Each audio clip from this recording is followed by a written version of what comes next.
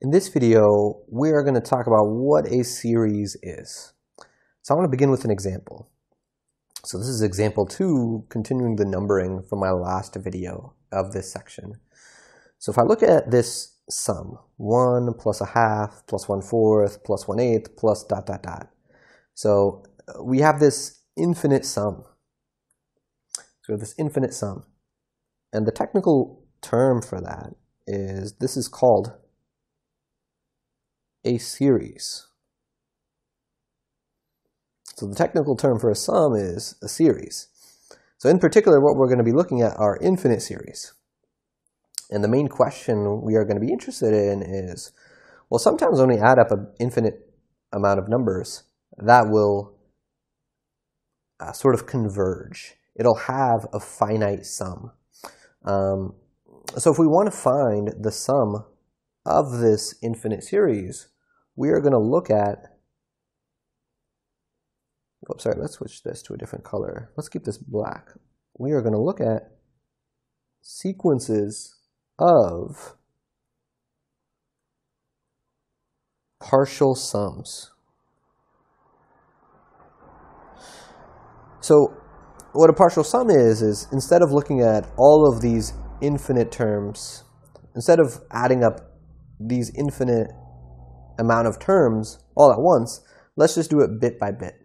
So S1 is going to be the first partial sum. That means you just take this first number in this list, just the 1, and just have that on its own. S2 would be the first two terms added up, so that would be 1 plus 1 half. And I could simplify this to 3 halves if I wanted to. Um, S3 would be the first three terms added up, so 1 plus 1 half plus 1 fourth. And if we simplify that, we end up with 7 fourths. And S4 would be the first four terms added up, so that would be sort of the first three, and then added to 1 eighth, so if you add 7 fourths to 1 eighth, we end up getting 15 over 8.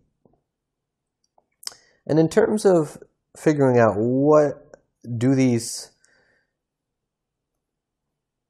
So actually, the question that I want to sort of determine now is when I look at this, so what we have now is a sequence here. We have S1, S2, S3, S4. This is a sequence of partial sums. They're called partial sums because it's not the entire sum. It's just a part of it. That's why it's called partial.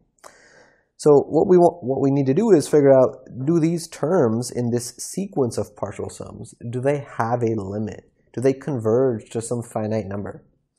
So the first number here was just 1. The second number, 3 halves, it's actually easier to see what this might converge to if I write it as a mixed fraction. So this is 1 and a half.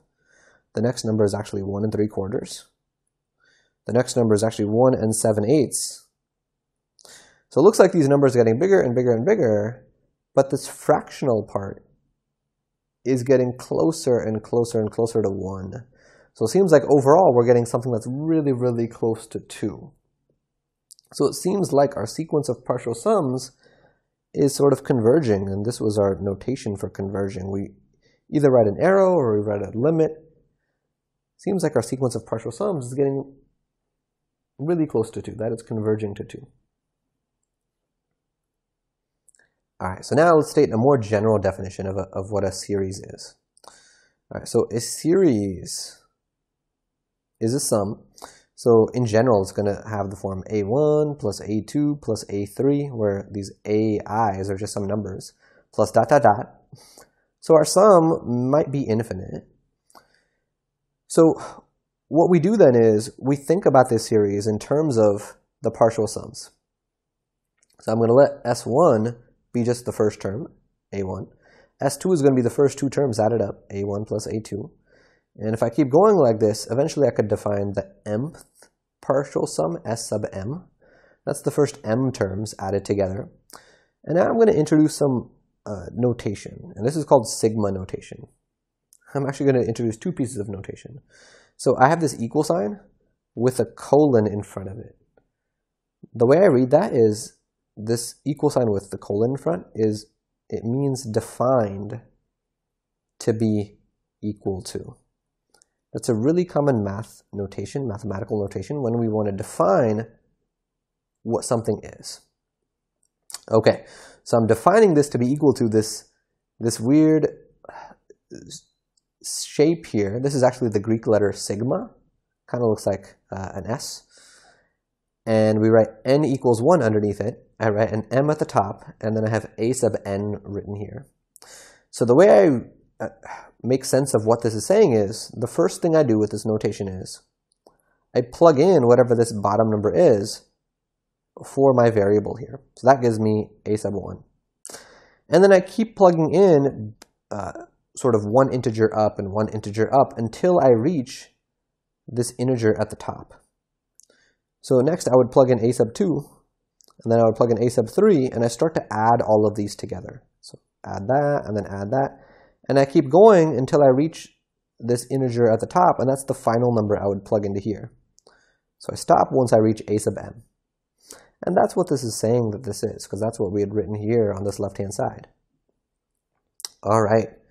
So the way I read this in words is, we sometimes say this is the sum from n equals 1 to m of a sub n. That's how I would read this out loud.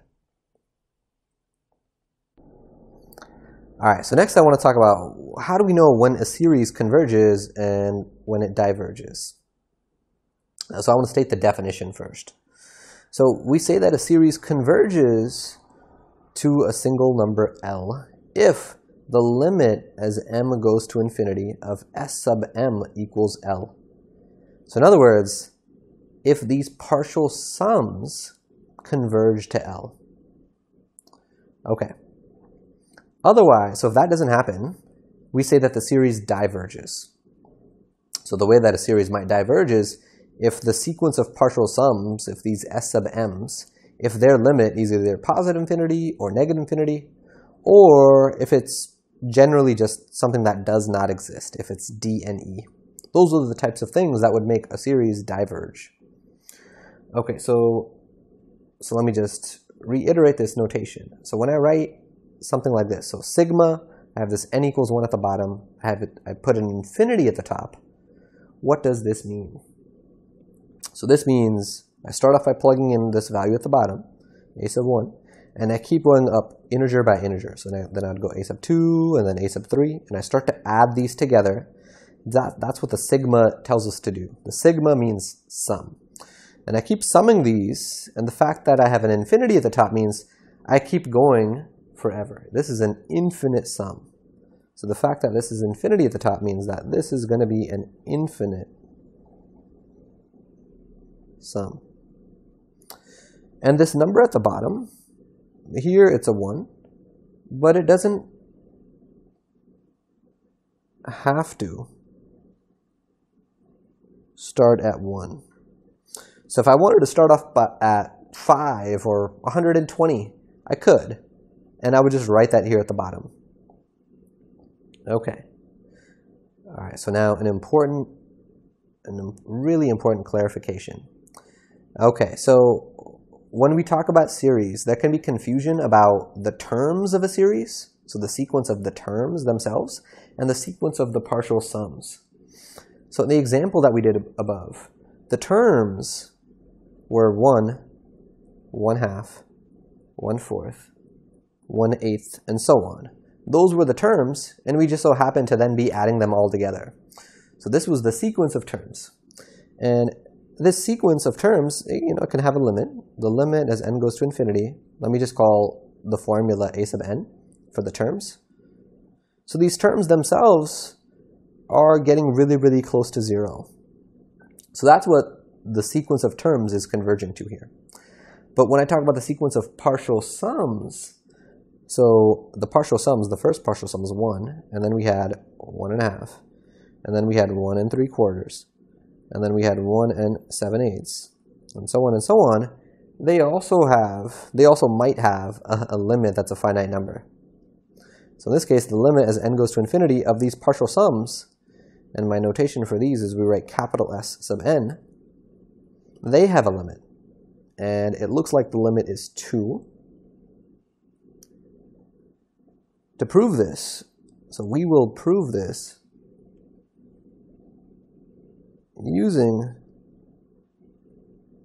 geometric series in a later video of this section. Okay, so there's this distinction between the sequence of the terms, just the terms on their own, and the sequence of their partial sums, because their limits might be different things.